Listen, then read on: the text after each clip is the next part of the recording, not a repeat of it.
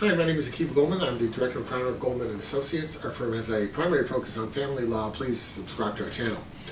A lot of people ask, can they handle their divorce themselves? Well, I think they they uh, you know think that they should do this because it'll save them money. Well, I guess at the beginning it'll save you money in that it won't cost you that two thousand, three thousand, four thousand dollar $3,000, $4,000 retainer that uh, a law firm is going to ask you to do a project like like a divorce. Um, but in the long run, you have to understand something. You're not going to be any better at doing that lawyer's job than he would be at doing your job. So, if, for example, you drive a truck for a living, you think that lawyer could uh, drive that truck? Probably not. It'll be a disaster. You're in the IT business. You're an engineer. Could the lawyer do that engineering? No, he could not.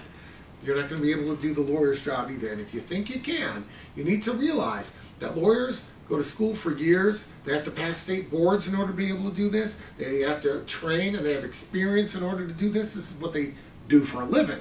So just because the law says that in some cases one can self-represent, it doesn't mean you should. It'll probably cost you more money at the end because if it's a clean slate, the lawyer can start it and put it on the right path and, and have it go. It'll cost what it costs. If you mess it up, and the lawyer has to move to set aside orders, um, correct mistakes, clean up a mess that someone else has made, it's going to have a the cost of cleaning up the mess, and now once the mess is clean, then you got to start it again. So it could very well cost you more in the long run to do it. Um, you could say, well, that's only if I make a mess. What if I do it perfectly? Well, I suppose. What if you do it perfectly? It's a possibility. Uh, driving down I-75 with blindfold on is also a possibility that you'll get to where you want to go. More likely than not, though, there's going to be carnage. The same with this. You might be able to stumble your way through doing this properly, but probably not. And it's like any major thing in life. There are certain things you want to save money on, certain things you don't want to save money on.